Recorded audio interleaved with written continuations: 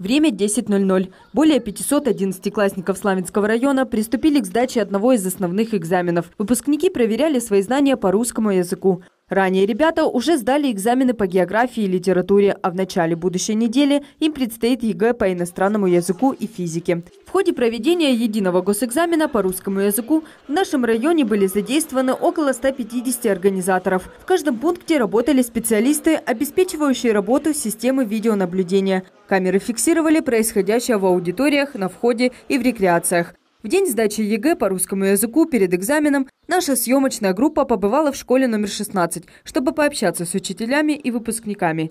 Ирина Краснюк, учитель географии школы номер 29, а также сопровождающая на экзамене, говорит, что очень волнуется за ребят, ведь в этом году меры по обеспечению информационной безопасности стали строже.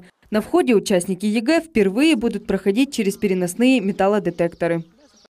Все равно все это откладывают, хотя хотя дети без прогалок, без телефона, но все равно это на них лишнее, нервное, конечно, э, напряжение, обстановка, естественно, что все равно она будет присутствовать. Поэтому кто как уже сейчас настроится, от этого очень много зависит. А вот Элеонора Буц в своих силах уверена. Девушка признается, что волнуется, но не сильно. Ведь готовилась она очень долго и упорно. Элеонора знает, что нужно делать во время экзамена, чтобы он прошел успешно.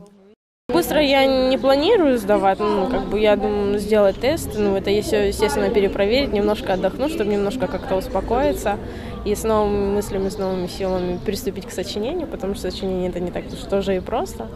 ЕГЭ в этом году будет проводиться по 11 предметам. Последний основной экзамен состоится 11 июня. Славянцам предстоит сдавать обществознание и химию.